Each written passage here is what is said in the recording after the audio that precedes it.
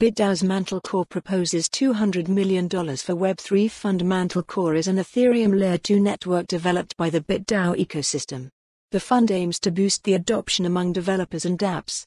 Newzone This piece of history collect this article as an NFTA proposal seeking to create a $200 million fund dedicated to early-stage Web3 startups was submitted on February 26 by Mantle Core on BitDAO's governance forum.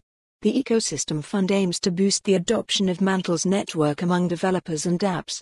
Mantle is an Ethereum Layer 2 network developed by the BitDAO ecosystem.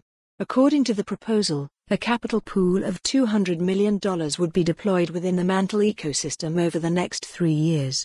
BitDAO's treasury would provide 100 million US dollars coin, USDC, while another $100 million would be supplied by external matching capital from strategic venture partners.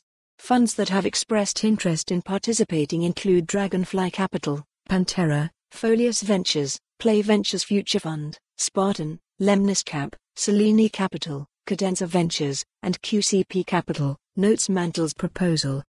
If approved, the Mantle Eco Fund and venture partners will participate in projects with 1 to 1 co investment ratio.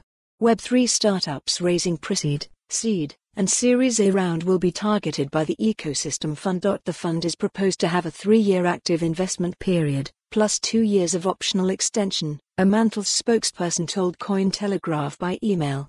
The initial fund operator is proposed to be Mirana Ventures, Bybit and BitDAO's venture partner, with an investment committee comprising representatives from Mirana Ventures, Mantle, BitDAO, and Bybit.